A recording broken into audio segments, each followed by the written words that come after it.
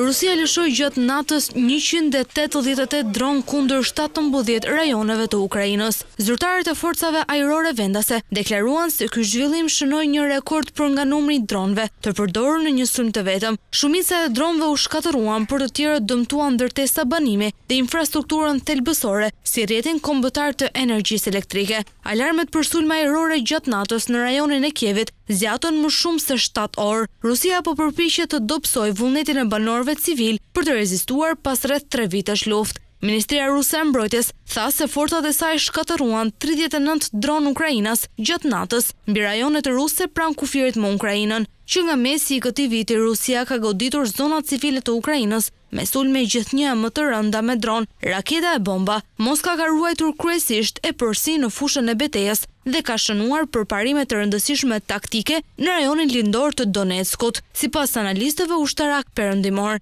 Megjithatë, sipas grupit të ekspertëve, mbrojtja e Ukrainës në këtë rajon nuk rrezikon të thyhet. Ata vunë në dukje se Rusisë do t'i duhet të kapte më shumë se tetë mijë kilometra katrorë territor për të arritur qëllimin e Kremlinit për të kapur të gjithë Donetskun. Ukraina po përballet me një dimër të vështirë me pasiguri mbi furnizimin me energji elektrike mes sulmeve ruse në vazhdim e mbi mbështetjen amerikane, pasi presidenti i zgjedhur Donald Trump të marrë detyrën në janar.